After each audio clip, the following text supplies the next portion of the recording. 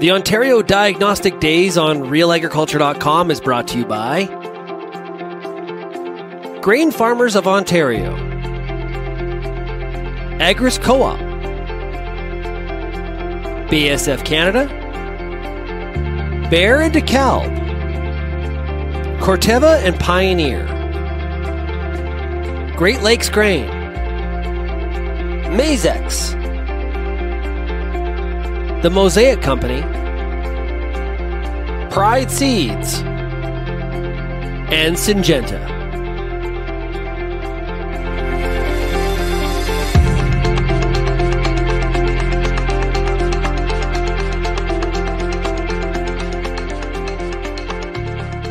Hi, I'm Bernard Tobin. Welcome to Ontario Diagnostic Days, Episode 2.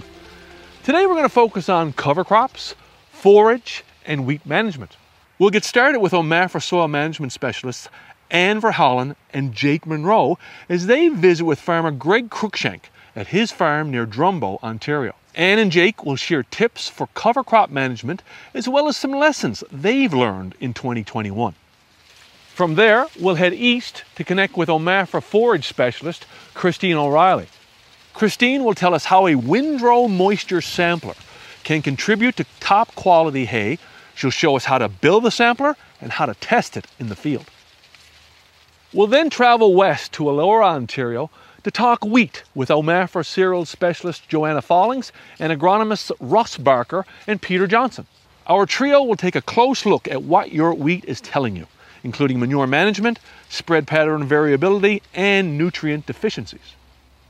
Again, CEU credits are also available for diagnostic days. Look for the URL where you can apply for your credits. You'll see that on the screen at various points throughout the episode. We also want to give you an opportunity to engage with our experts.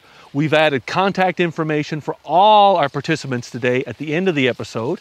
And you can also add your comments and your questions in our YouTube conversation as you're watching the episodes. We'll get you some answers. Here's episode two.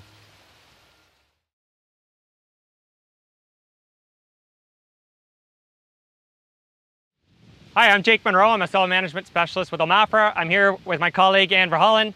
We're here just outside uh, Drumbo and we're on a grower's field, Greg Cruickshank. Uh, we're going to be talking about cover crops and cover crop management, uh, going back and forth a little, bit, a little bit with what we've learned so far this spring in terms of cover crops and, and some lessons moving forward as we, as we get into July and August uh, for post-wheat cover crop seeding. So, Anne, uh, it's been an interesting spring so far. We've, you know, we, we started off very dry. We're still fairly dry, uh, particularly in this area as well. Um, what are some of the kind of main observations that you've made in terms of cover crops and cover crop management so far? Well, one of the things we've seen is that some of these cover crops uh, were delayed in their control. So really, they didn't control them in the fall. They let rye or multi-mix cover crop go through to the next spring. The other thing we saw, because of the spring that we had and the winter, we've seen a lot of cover crops that overwintered. So we had a lot more cover crop growing in some of these fields than we typically would have. We've seen oats and radish, turnips, kale, things like that, some of these larger multi-mixes with a lot of uh, overwintering cover that was sucking some of that early moisture. And when you figure we didn't get a lot of recharge over the winter, that put us in a planting situation where, well, you saw it yourself, there's places where there's seed going into dry ground because the cover crop took the moisture. Yeah, for sure. And, and I mean, we're fortunate to be able to get both corn and beans seeded in, in good time, you know, yeah. pr pretty much in the, in the first half of May or maybe just into the second half. Uh, and in some cases, Anna, it was it was it was seed going into moisture, um, but then that moisture actually being being depleted if a cover crop wasn't terminated quickly enough following planting. Yeah, and there's a lot of controversy around, you know, do you plant green? Do you control it in the fall before? I think you and I've talked it through that there's there's a bunch of maybe management practices that would set you up for a little bit more resilience or a bit of an insurance policy depending on what the spring gives us. For sure. And, and I think it comes back to what's your goal out of the cover crop? And I know you've been preaching this for years. Like, wh what's your objective? And, and is it to get a, a high biomass, lots of residue cover crop, or is it to have soil cover and, you know, help help with the seed bed and, and you know, what have you seen where maybe in some cases where the goal doesn't exactly align with the way the cover's been managed? Well, there's there's one field that I've been following because I, I have a time-lapse camera in it, and it's one where the goal of the cover crop was to suck up some manure nitrogen that was applied after wheat. And the goal was definitely uh, achieved. That, that cover crop was about waist high on me, which that's a significant cover crop. Uh, very thick multi-mix with a lot of different species, a lot of brassicas in it, more than I was really expecting and actually more than the grower was expecting. So between the volunteer wheat, the cereal rye that was in that mix, a little bit of oats, and then you, you add in something like a turnip that overwinters, there's, there's a lot of green matter there still come spring. And with the manure, that field was supercharged as far as that cover crop growth. So getting into the spring, we're still looking at a lot of residue and a lot of sucking of, of that moisture.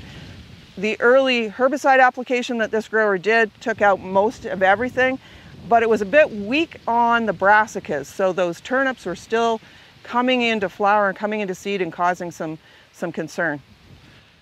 Right, so that, that question of, of you know, when do you spray off the cover crop? And, and I know that yeah. growers who are who, who, believe in cover crops and are doing cover crops, there there certainly I think is a tendency in some cases to try to kind of push that cover crop to the limit and to maybe maximize the benefits or the growth.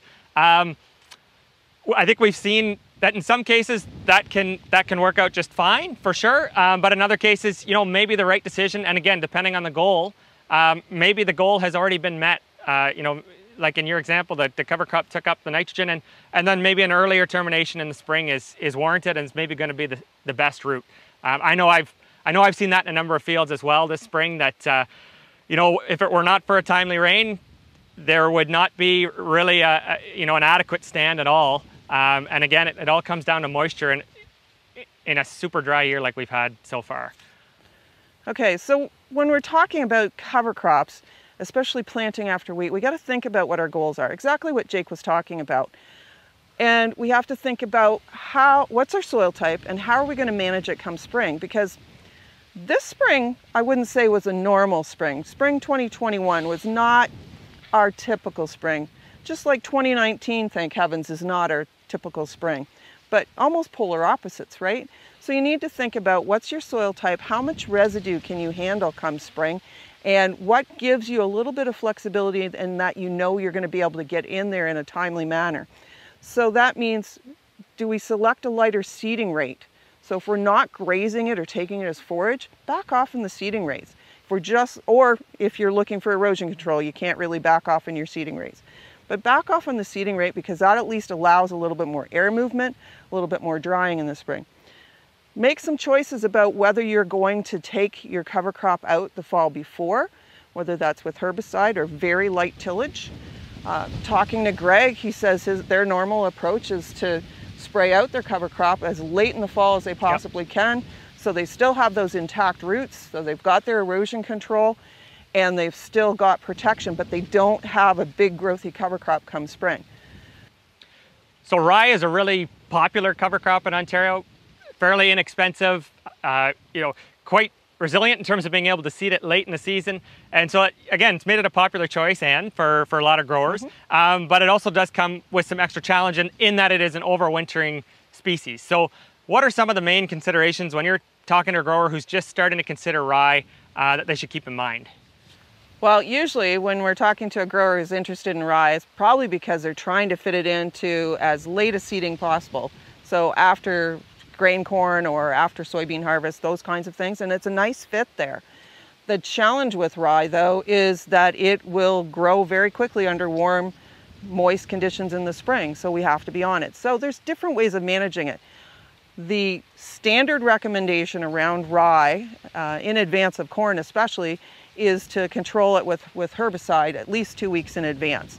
That will keep it fairly small given our typical corn planting time and essentially, we've got very little residue left. We don't have a lot of competition for nutrients at that point, not a lot of tie up. When you start to go into more of a plant green scenario, like you see from behind us, uh, there's going to be a lot more competition. And, and to be fair to Greg, this was an oops on, and he admits that, right? So this got sprayed a week after planting in a dry year. So a lot of competition for moisture and nutrients. And you can see that it's really held the corn back. So we know this is not going, this is not something we want to do. Uh, if you are thinking about planting green, usually with plant green, we're, we're going to spray just immediately before or right immediately after planting corn. Uh, plant green also works a whole lot better, I think, if you're in a strip till situation where you've had all that rye residue moved well away from the corn plant. Uh, it's not for everybody. There's also different ways of managing the rye, so we can think about the rate of rye that we're using. Right, yeah, Jake? for sure. I mean, I think I think in this in this case, unless your goal is to is to really be aggressive in, in suppressing weeds, you know, less is more in terms of in terms of a seeding rate for rye the, the previous fall. Um, you know, having that seeding rate be something I don't know, 40, 50 pounds. Some growers even go going lower than that. That just means you're, you know, you're not going to have as thick of a stand that's preventing you know, if we have a wet fall, it's kind of the Goldilocks. If we have a wet spring, I should say, you don't have as thick of a stand that's keeping the soil from drying out. Um, but then if you do have a drier spring, again, it's less aggressive. It's not going to dry the soil out as fast as if you've got a very, very thick stand. So, But wait a minute, everybody tells me that if I've got this growing rye in the springtime, it's going to dry the soil out so I can get on there sooner. Yeah. You think that's really working for us? yeah, so and I've seen it. I've seen it both ways, and I've actually got data to show both ways. And in, a, in the extremely wet spring of 2019, rye at my site with a very very thick stand of rye actually kept the soil a bit wetter than than a bare soil because there was, as you recall, very little sunshine uh, that spring and no opportunity for the wind to help help dry out that soil. And uh, and all even with all that transpiration, it was still keeping it wet.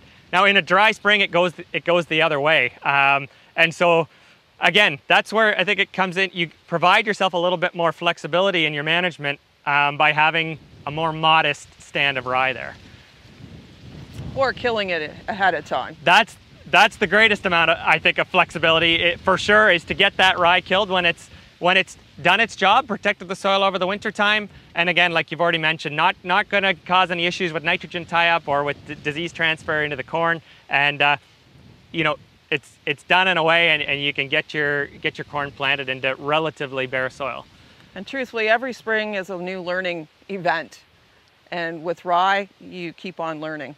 For sure, for sure, and it, it's uh, it's a very versatile cover crop, but it's one that requires you to, like you mentioned, to be on it in the spring. So, um, you know, not a not a beginner cover crop situation in this sense of, of planting green into it, but a you know great cover crop to to have for a specific purpose and uh, and to protect your soil that way. Well, and if you want to do it as a beginner, if you're just starting with rye, then that is the time where you target it to be sprayed out at least two weeks before corn planting.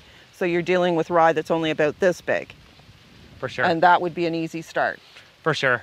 And then build your comfort as you go through it with some different weather scenarios. Yeah, absolutely. And and we should touch briefly on on soybeans and and soybeans into rye are speaking of something that's a little bit more of a a little bit of a safer bet. You know, again, you could spray that rye off a couple weeks ahead of soybeans as well.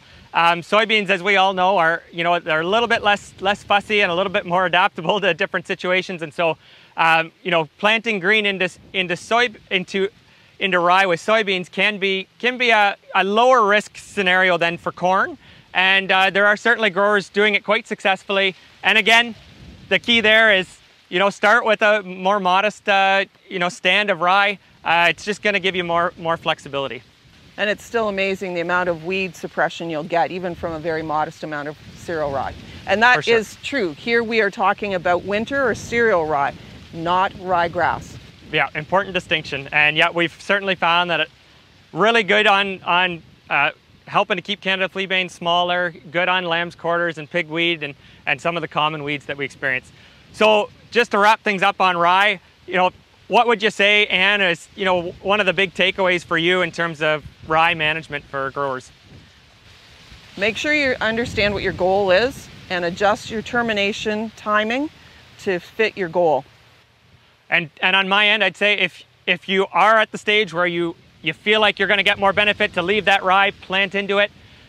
Make sure you're getting it killed either, like you said, just before or just after planting.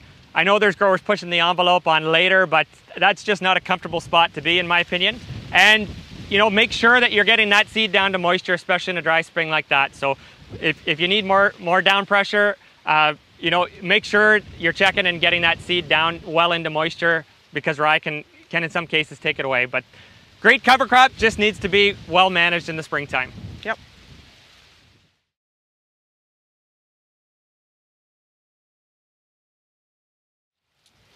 Okay, we're back here for diagnostic days. We're at Greg Cruickshank's farm in Brant County. Uh, you know, and the interesting thing about Greg's place here is he's doing all kinds of different stuff with cover crops, innovative stuff. He's he's got some cattle, and he's so he's doing some grazing. He's taking some some uh, cover crops for feed, and uh, and and also doing strip till in combination with that system.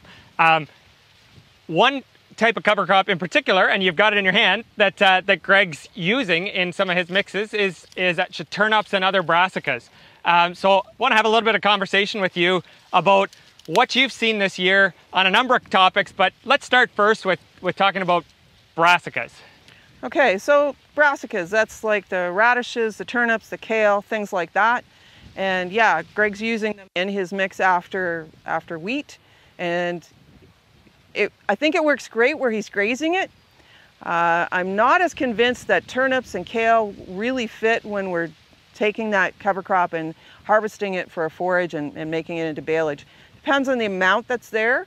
Uh, if there's a lot, it could really affect the moisture levels that you've got in that. It's, it can be kind of slimy. It fits really well when you've got manure. And in this case, Greg's got a fair bit of chicken manure that he brings in, so it's, it's feeding these, these uh, brassicas. They're heavy nitrogen feeders, so they work best if there's a lot of residual nitrogen.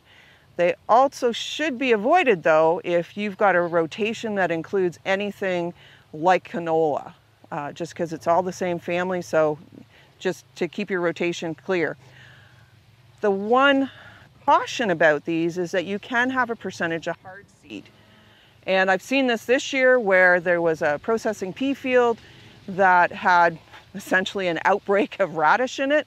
And the suggestion is that it was probably hard seed that developed right. over a, a, period of years. Probably it was a bit of a weed escape. Um, that's a concern. The other concern we can have with some of these is the turnips. So Greg's turnips here are not very large. They're fairly small, about, you know, the size of a small egg. So they weren't huge to be getting through with the planter. I know there's a lot of complaints that come out of the US about avoiding turnips in your, your mix if you're going to be seeding corn into it, just because some planters really struggle with that. And I saw some evidence of that with another field where it was strip tilled. The strip tiller cut and moved a lot of that out of the way, so it wasn't a big problem. But because that field had seen a lot of hog manure, oh man, those rat, those those turnips were huge. They were like, I don't know, bigger than baseballs. And I got to stop you there, Anne, because I thought turnips died over winter. Like, what what did you yeah. see this this spring? Yeah, what we saw this spring is no, they didn't die. That was that was a big challenge. So the turnips didn't die, kale doesn't die, and truthfully, a lot of turnip and kale don't die anyways. The bigger surprise for some people was radish didn't die. Right, right.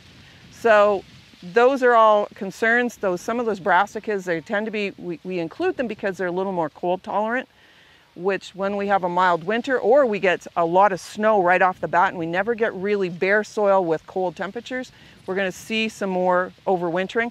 So you've got to be prepared to deal with that in the springtime.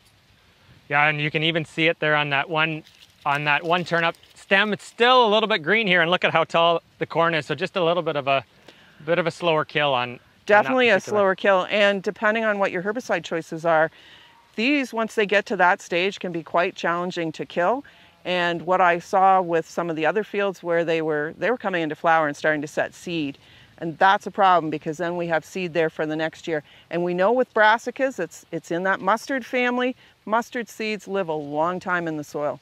Yeah, and, and I've seen I've seen the same thing this spring. So uh, for sure, it's it's probably not an isolated incident. A lot of overwintering and maybe some unexpected, um, you know, turnip and other brassicas to manage. So speaking of speaking of, of weeds, um, there has been a lot of conversation over the last number of years about uh, uh, different cover crop options, and and annual ryegrass is one that I know has gotten a lot more attention recently because of resistance issues and, and issues managing it. So what have you seen so far this year with annual ryegrass?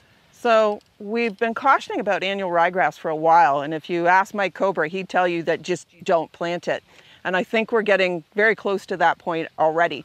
What I've seen is a lot of escapes, and so escapes in a rotation where it's a corn, soybean, wheat rotation, and then suddenly you've got a lot of uh, annual ryegrass coming up in the wheat. It might have been seeded there as an interseeding in the corn, which the reason we choose to do it then is because it is a little bit more herbicide resistant, so it'll take the herbicides into corn. Uh, that's a two-edged sword, right? Because it's a little more herbicide resistant in the corn means it's a lot more herbicide resistant when we're trying to kill it. So the thing with annual ryegrass is that you need to be on top of it and we have to seriously work at killing it if you're going to use it. That said, uh, the only place I think it really works is as an interseeding in corn and I think there are other options. So in the interests of maintaining uh, um, cleaner fields, probably best to avoid annual ryegrass. And that is the feedback I'm getting from a number of experienced growers who've been using it as an interseeding. And, you know, fields that saw it as an interseeding five years ago seem to have some outbreaks and they're getting to be pretty hard to control. And I know there's a number of growers who've told me flat out they'll never plant it again. Yeah, good good to know for anybody who might have been thinking about uh, about annual ryegrass. Despite all the benefits of the root system, you, you, you can't have a cover crop becoming a weed issue. And uh, so moving on, uh, I know you've had some other kind of oddball kind of issues so far this season and related to escapes of cover crops and cover crops you know, having kind of lived beyond serving their purpose and becoming weeds. So what are some of those situations? Yeah, so this has been the year of the challenge, the cover crop challenge, shall we say, that cover crops may have had escapes in previous years that just weren't, weren't caught. So again, coming back to that processing pea field where there's radish, cover crop radish in it, and the radish is coming into flower and setting pods that are about the same size as the processing pea pods. That becomes a challenge when you set a pea combine in there and you're trying to separate the two or when it gets to the, the factory. That becomes a real issue. But it's, it's still coming back to there was a, uh, there, there were radishes that managed to go to seed at some point in the previous four or five years. And those offspring of that radish weren't caught. It still comes back to scouting. Same thing with even the escapes with annual ryegrass cover crops are not like, you know, the simple button. It, it, it does take a little bit more management, which means with some of these cover crops, whether it's radish that can have that hard seed and set seed in the fall in a big multi-mix and you might not notice it, that annual ryegrass that you seeded mistakenly four or five years ago, you need to be on the lookout for it. And after you've sprayed it, you need to be going back about a month later to make sure it really did die because it's kind of like a possum it'll roll over, it'll look really brown, and then scarily enough, there'll be these little green shoots coming out underneath, and it'll be 30 days later. So you think you've got it, and it can set seed still at that point. The other one is if you've got buckwheat in your multi-mix, buckwheat sets seed very quickly, and while it's not that hard to control, you do need to think about it and know that it's there to manage it. So really what it comes down to is cover crops require management and you should be scouting to make sure that if you thought they were dead, they really are dead so that we're not dealing with cover crops as weeds later on.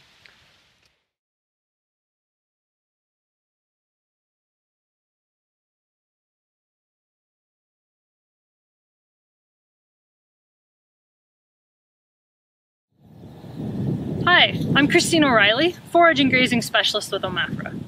Moisture content can have a huge effect on forage quality. After we cut, one of the next big decisions that we make that, that really can affect forage quality is the moisture content at which we put up the crop. So when you're making dry hay, you're trying to get that moisture content down low enough that it's not going to mold, it's not going to heat and denature proteins and, and burn up some sugar, and we also don't want to risk spontaneous combustion. So most methods of forage testing take too long to be really practical for this infield decision of when we're putting up that forage. Um, labs often take at least a couple of days to get the results back to you, so obviously moisture will have changed in the field. But even a Koster tester or a microwave, um, it takes half an hour to an hour to get that one sample dry. And to really get a good sense of what's going on in the field, there's a lot of variability. We need more than one sample. So we've got multiple samples, it's gonna take a few hours, and by that time, the moisture content has changed. So the tool that we have on a lot of farms that does provide an instant reading is a bale moisture probe. The challenge with that though is that because it's relying on electrical conductivity to estimate how much water's in that forage, it has to have the hay packed tightly around it in order to work. So obviously a bale probe on its own can't measure loose forage like this. In 2002, Ron Thamert of the University of Idaho came up with a design for a windrow moisture sampler. The idea is that it will allow a bale probe like this to test the moisture in loose forage like this. What's intriguing about it is that it should be very easy to build on farm. So that's what I'm gonna do today. I'm gonna build one of these things and then we're gonna bring it to the field and try it out. One quick disclaimer, this is not a tutorial. This is an experiment. I've never built one of these before. I don't know how this is gonna go. So you get to come along on this adventure. All right, so first step is to cut a three foot length of inch and a quarter PVC pipe. So the PVC pipe is supposed to act like the plunger in a baler. It's what's going to let us compact that sample, press it all down into the, the moisture sampling tube. But to make sure that it doesn't get all plugged up with hay, we've got to cap those ends. So I'm using some solvent cement and inch and a quarter PVC pipe, or sorry, PVC caps, just to close off that pipe and, and make sure that it's actually going to work like a plunger. But once we've got both ends on there, that's the plunger done. So the next step is to cut a two foot length of two inch ABS. This is going to be the chamber in the baler, essentially. Whoops, watch your elbow, O'Reilly. Uh, safety first in the shop, everybody. Um, yeah, but what I was saying, so this two foot length of two inch ABS, it's going to be the chamber in the baler. So it's the space that we're packing that hay into. And the idea is we want to get it dense enough that a bale moisture probe can actually check the moisture of that loose hay accurately. So just like with the plunger, we have a few component parts that need to be cemented to that ABS pipe.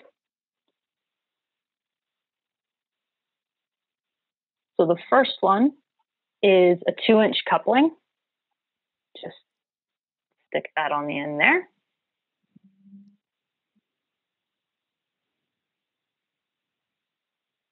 And then I put in a two inch cleanout adapter because we need some way to get this hay back out of our sampler chamber once we're done checking the moisture on that loose hay.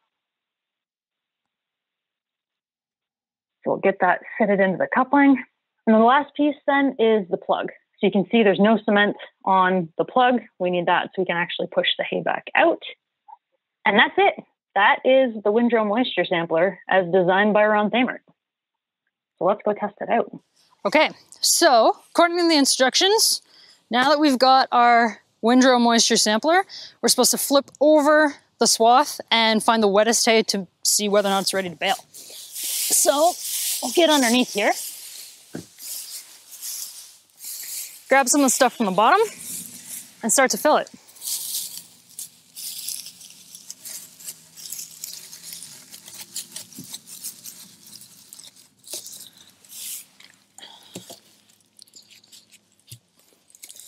Got to get that all stuffed in to make the plunger go.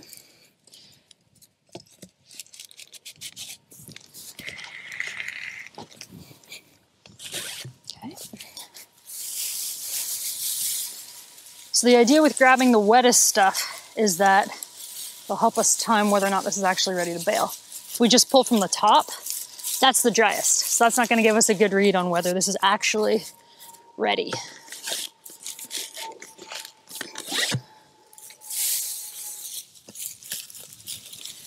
And the challenge though is if you grab really big handfuls, they don't wanna pack in the tube.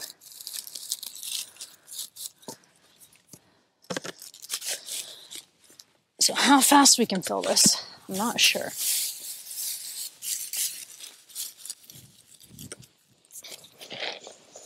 All right, that's pretty full. So, time to check it with the bail probe. And the trick is to try to get it going straight down the pipe so we don't hit the walls. Yeah, this is just reading low. This is pretty dry actually. 9.4, 9.8. So yeah, this uh, this would be ready to bail. So let's see if we can get it back out. Unscrew the cap at the base. This is why we did not cement that in place. And see if this will work like a post pounder.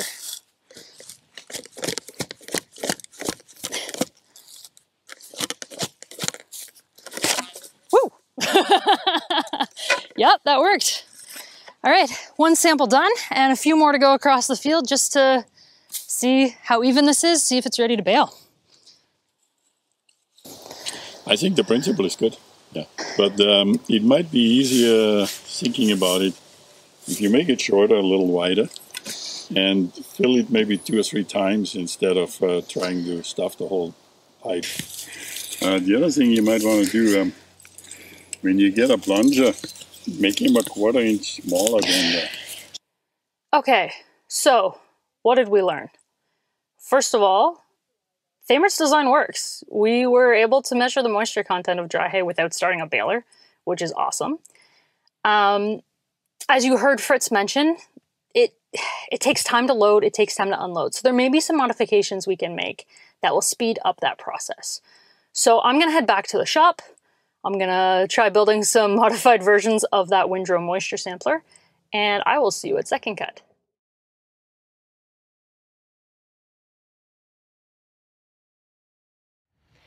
Welcome to another great Diagnostic Day session. Joanna Follings, cereal specialist here with OMAFRA, and today we're going to be talking about what is your wheat telling you. We've got Russ Barker, agronomist and sales rep with Pioneer, and we're going to talk about manure in wheat. Then we've got Peter Johnson, agronomist with Real Agriculture, and we're going to be talking about some variability in spread pattern. And to finish things off, we're going to talk about some of the nutrient deficiencies we're seeing this year. So let's kick it off with Russ to talk about manure. So Russ is the guy that coined the term wheat shows everything. And when we talk about wheat shows everything, we're talking about compaction, tile drainage, poor nitrogen spread pattern, manure application. And manure, this is something growers are trying to get more out of. They want to get more of their manure and they're using it more in wheat. But what are some of the things or some of the challenges that we're seeing this year, Russ? Well, you're 100% right. Manure is such a valuable, particularly liquid manure in, in wheat production is such a valuable resource. It makes sense to use it. The limitations that we've seen from all our drone work over wheat, uh, and everybody knows this, the spreads liquid manure, even though you can drag line it and you can be more uniform than you can with a tanker, you still have issues where you turn and swing those spreader booms. Instead of having 3,000 gallons per acre, you swing and you'll have seven or 8,000 gallons per acre and that area there and swings around. You'll have 2,000 over there. And then, of course, wheat shows you, as they say, it wears its emotions on its sleeve. and it tells you when it's happy, it tells you when it's sad, it tells you when it's totally depressed, and uh, so on. So we've seen that quite a bit. So what should we do or what can we do better to get that uniform application? Should we put 100% of our nitrogen needs with manure or should we be using two thirds, a third? What sorts of things should we be doing to improve our, our manure use in wheat? Well, because you can't put it on in any degree of perfect uniformity like you can with a well set up fertilizer commercial rig, um, you literally can't depend on 100% of your N coming from manure. Um, and, and the exact percentage is kind of up, up to you and the grower. Depends quite a bit on whether you're talking swine manure, whether you're talking dairy manure. Of course, you have different nitrogen contents as well as other things. Uh, and I tend to think that somewhere in the half to two thirds, if you yep. can hit it there, is, is maybe the sweet spot. Um, maybe 75%, somewhere in that range, and then balance it up with commercial nitrogen, either through precision applications or at least smooth that, uh, that out for a little bit more uniform growth pattern. So Russ, we're seeing this in wheat, But why don't we see this, you know, ununiform applications show up in corn? Why aren't Chris and Ben talking about this in corn as much? That's a good question because we know what happens in corn, just as it happens in wheat. there is no difference. We still make those uh, variable applications. First of all, a corn root system is different. We plant corn in generally wider rows, 15s, 20s, 30 inch rows. The roots have more of a, an umbrella. They get out, they reach the end more so than, than wheat does. The other thing is that the nitrogen timing on corn is different. It's mm. later in the season. Wheat needs that in early. And so all those little subtle differences will manifest themselves in the wheat crop. Just like little subtle differences in, in equipment setup, equipment maintenance.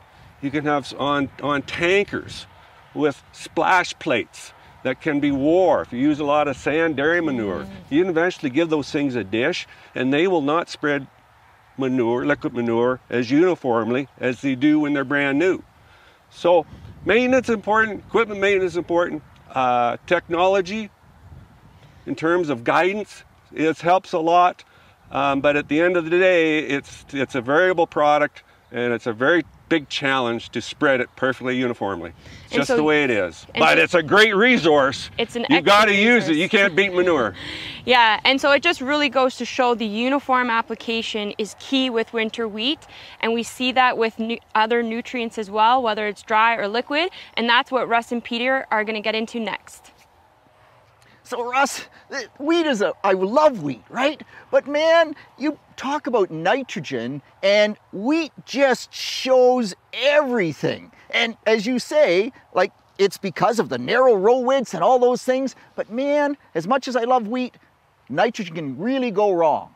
Oh, it's your best friend in wheat and it's your worst enemy. If you don't get that, that rate close to where you need it for good standability, less lodging, and we all know this year what the challenge that, that, that whole thing has been, especially with manures. Yeah, well, but not just manure, right? Because I my wheat went down. Oh my gosh, and, and it's a lodging year, right? It's a and so so I need a better agronomist. If you're available, Russ, I need a better agronomist to keep that wheat standing. But but are there systems that, that will do a better job than others? I'm sort of uh, like I hate dry fertilizer spreaders. What do you say? I say this that the new dry spreader technology, as long as you keep one product in the, in the, in the bin, you can get along respectably. However, I don't think you can still, given that, you still can't totally rely on a dry spreader. I think you still cannot beat the uniformity that you get with liquid sprayer, boom, Needham bar, whichever system you want to talk about. You just can't beat that uniformity. Yeah, and this year you can ever see that uniformity in the liquids, right? Because, boy, where it's overlapped, right? Straight line right down the field, and she is just done, boom, flat, right? Yep. The other, but the other, the downside of liquid is that what happens if I drive a little wide? Well, yeah, you got to miss. Yeah, and what's... The other thing with liquid is that uh, if your wheat gets a little tall, and you're coming in with a later split, what happens? So you get burn, yeah. right? And and burn can be tremendous. I had burn on my own wheat this year, and and so from that standpoint, uh, can you show us some drone pictures, Russ? Like that that's really cool. Uh, and in that drone picture, the big question is, we've got wheat that's burnt, we've got wheat that's not burnt.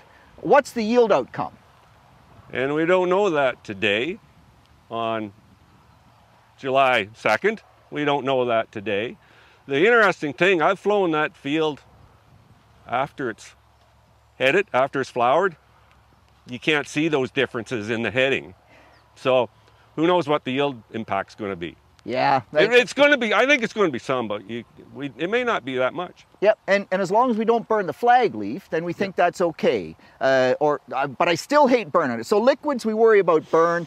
Dry, we worry about non-uniform spread patterns. And by the way, like in this picture, you can see where we have non-uniform dry spreader, and it was the first application only, and it's one of, it's a, a fancy new technology spreader, but it wasn't calibrated for the ammonium sulfate. It was still calibrated for some other product, didn't get calibrated. So the best technology still has to have good calibration, right?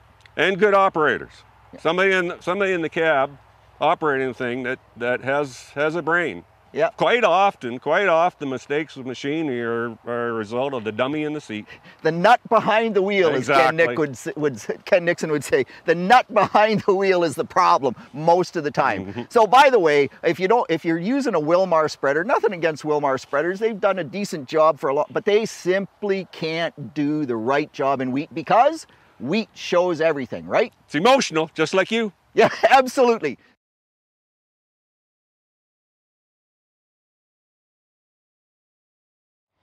So when we talk about wheat showing things, one of the things that we see year after year, even though we never stop talking about it, Peter's talked about it for 30 years and we're seeing it here in front of us, and that's phosphorus.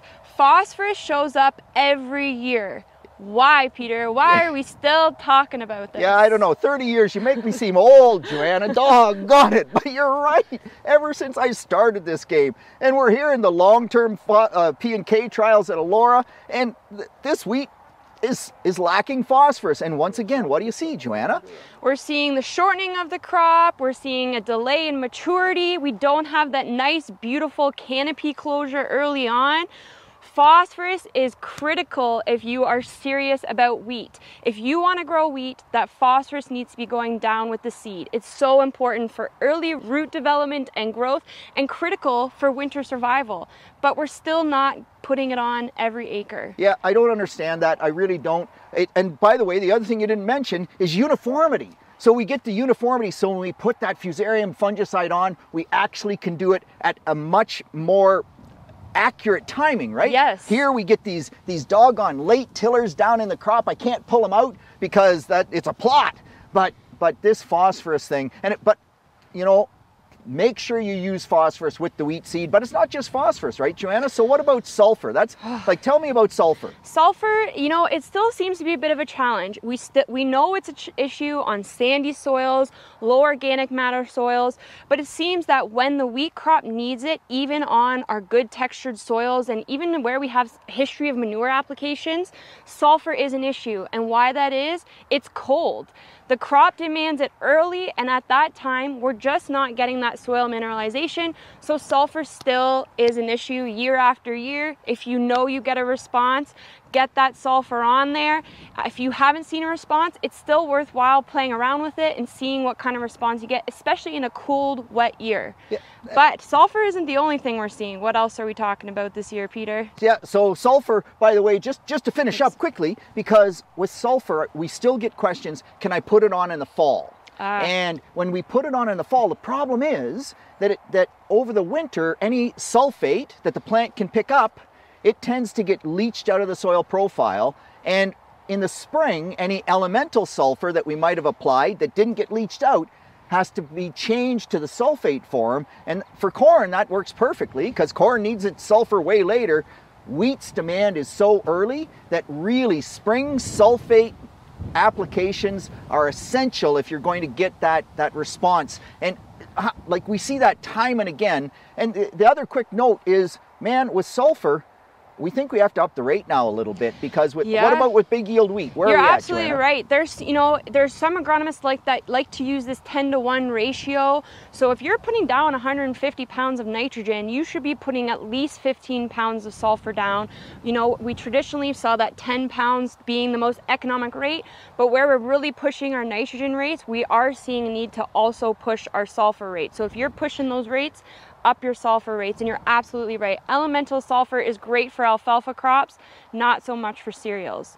So, what else are we talking about this year, Peter? Yeah, so the other thing that we talk about every year in wheat and in soybeans, Yes. of course, is manganese. And wheat goes manganese deficient. We saw tons of it this Yes. year because dry spring, cold spring. And that's also part of the sulfur story. When we get those cold springs, the, the release is just that much slower. But with manganese, if it's dry, uh, dry soils, manganese just isn't available. Under wet soil conditions, it, it uh, reduces. It's a long story. We don't need to get into the technicalities of it. But man, you can have manganese deficiency like crazy, get a two inch rain, it'll disappear, right? It's amazing. And another telltale sign for manganese deficiency is compaction. If you've got dark tracks in the field, that is your perfect telltale sign for manganese. That compaction makes that manganese a little bit more available to the plants. And so those plants will look much darker green than the rest of the field. Because in the compaction strips, it's wet.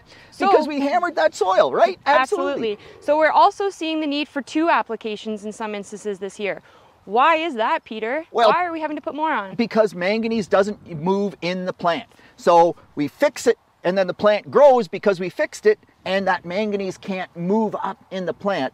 Plus, lots of times we don't put enough on and if the soil's deficient, it's really hard to put enough on foliar. So yeah, two applications 10 days apart. I've even been in sandy soil situations, much more manganese prone to deficiency uh, where we had to do three applications for crying out loud. Whoa. Yep, but but but but if you do it, or uh, maybe I should say it the other way, if you don't do it, it costs you big time. We've seen 25, 30 bushel yield losses where we don't fix manganese or where we don't fix sulfur, and of course, you know, uh, phosphorus. You just know you're going to lose yield. Absolutely. So you ha- there you have it. Wheat shows you everything. Big thank you to Peter and Russ for joining us today and looking forward to seeing some big wheat yields this year. So there you have it. We hope you enjoyed episode two of Ontario Diagnostic Days. Be sure to come back and see us on August 17th when we'll have a live episode. We'll talk about 2021 insects and disease with uh, OMAFRA's Tracey Baute and Albert Tenuta. We'll see you then.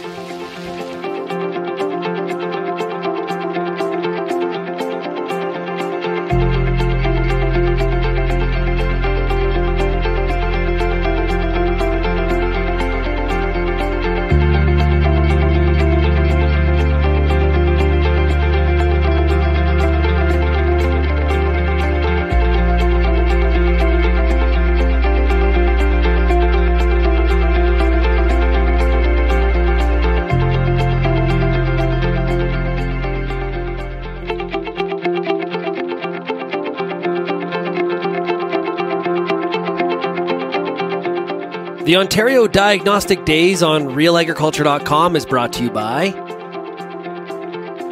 Grain Farmers of Ontario, Agris Co op,